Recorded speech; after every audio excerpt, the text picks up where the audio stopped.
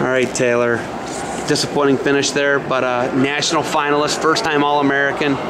You get Dieringer. I think before it's all said and done, he'll probably be one of our all time greats in the sport in college wrestling. But that match, finals, did you feel jitters? How'd you feel out there? Yeah, I felt really good. Um, just was uh, you know hoping to get in some positions where I could hit my stuff. Uh, get I just let him in in too many shots and gave up too many points. So it was just tough to come back. Kind of kind of made myself have to go for a fall instead of you know you know working in tight positions, which is what I should have done. Maybe stayed a little lower in my stance, but it was a good match. It felt good though. Everybody knows you got the knockout punch. Dieringer knew he didn't put himself really in any compromising positions, he Taylor Walsh tie into a knot positions where you could pin him.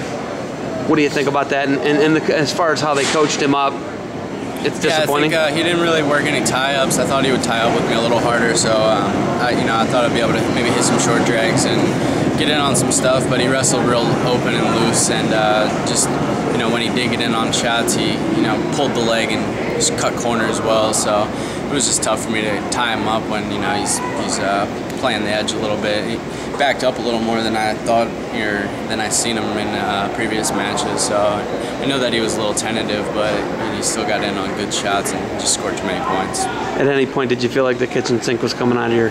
Um, yeah, there was a few times where like could have, uh, you know, I, I, threw him once out of bounds to his back, but I think he kind of knew where he was at. Uh, he's a tough wrestler, just strong when he got in on legs, he was good at finishing, and he made some adjustments when uh, he hit a cutback double, and uh, I, uh, I stopped it. The you know after the first time he hit it, I, I stopped it nice, but then he he transitioned well. He made some adjustments and was able to score more points.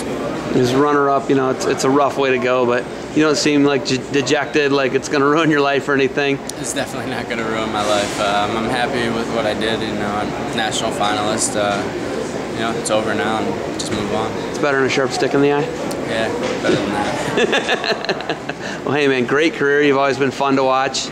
I love the funk when you bring it out. Will we see anything out of you in the future as far as? Um, I think so. Yeah, we'll see how it goes. But uh, you know, main focus is finishing up school strong right now, and finishing my master's degree, and then you know, go from there.